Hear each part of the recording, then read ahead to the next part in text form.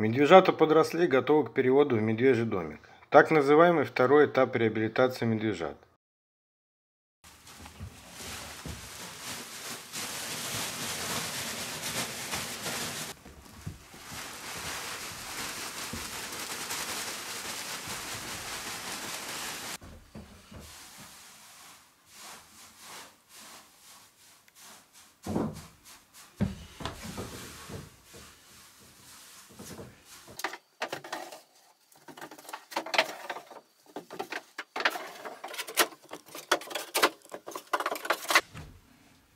Резинки только.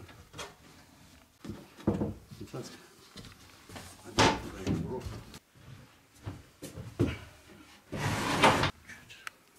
Здесь большую часть времени медвежата будут проводить в игровой зоне, где они смогут научиться бегать, лазать, прыгать.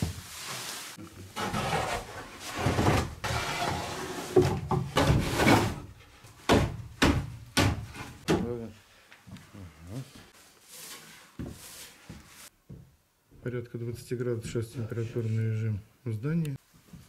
Боксы уже подготовлены. Специальные вкладыши. Идет подготовка игровой зоны.